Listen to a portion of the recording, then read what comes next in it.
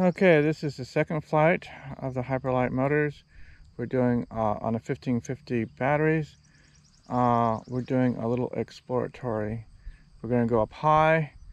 We're going to kind of see the land. I went to Pacific Point, but I'm going to see how it compares to Google Maps. But uh, so far so good. Little red, little red lines on the controller side, but the fit, I'm running uh, I'm running 50 megabits per second uh, HD. Uh, I see no drops in bitrate whatsoever. So uh, that's the first time I've tested it on almost a mile, and we're going to see if we can go a little further. But right now, this is just a little exploratory um, uh, view for we'll see above, and then we'll put on the longer range batteries and uh, we'll uh, get some more cinematic footage.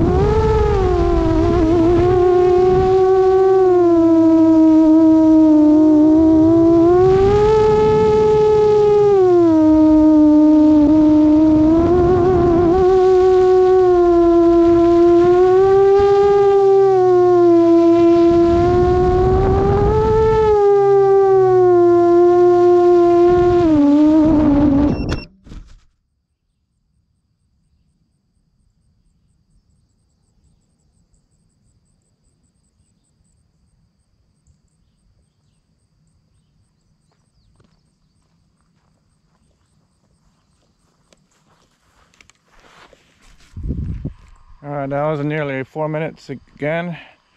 Voltage was uh, in the high 21s, basically 22. Uh, and uh, almost a mile out. So the 1550 batteries will give me like four minutes on this Hyperlite motor build.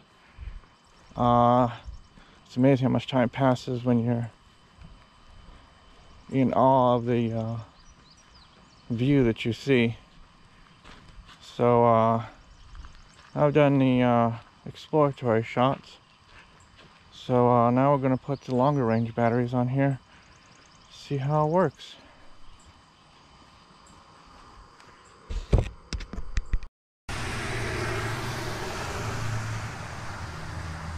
All right, ladies and gentlemen, it is I, George Prince, out here uh, near this plantation here. The area and the exact name will be in the description. Saves me trying to remember it.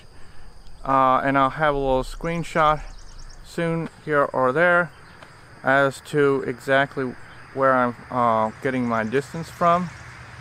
Excuse the vehicles in the background. We are next to a street, a busy street at that. So here is my quad that I flew out for the first time at a mile and a half uh, with the 1850 batteries. Uh, took about three or four minutes, but I can uh, I can go faster. I can go faster, um, but again, doing some turnarounds just to make sure I'm good on signal and everything.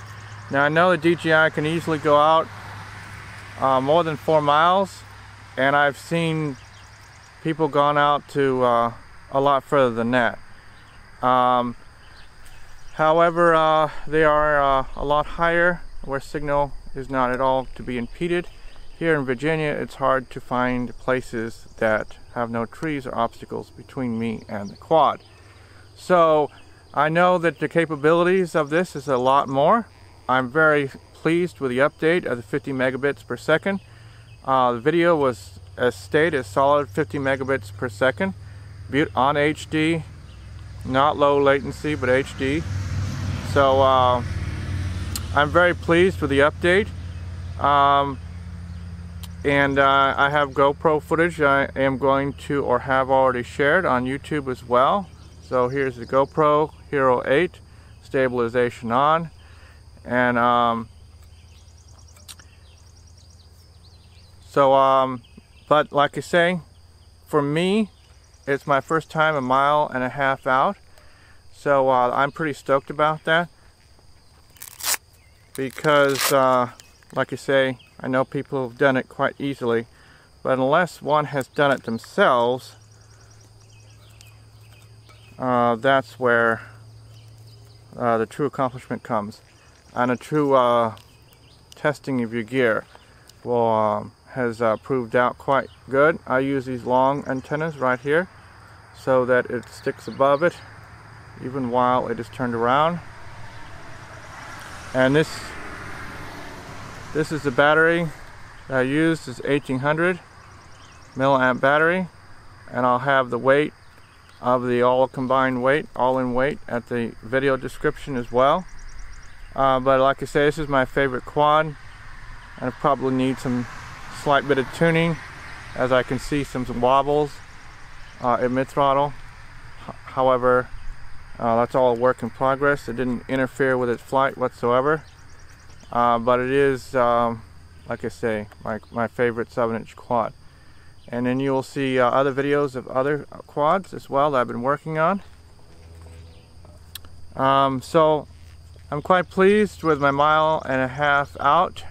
May not, like I say, seem much to uh, the long-range fellows out there who do this on a regular basis.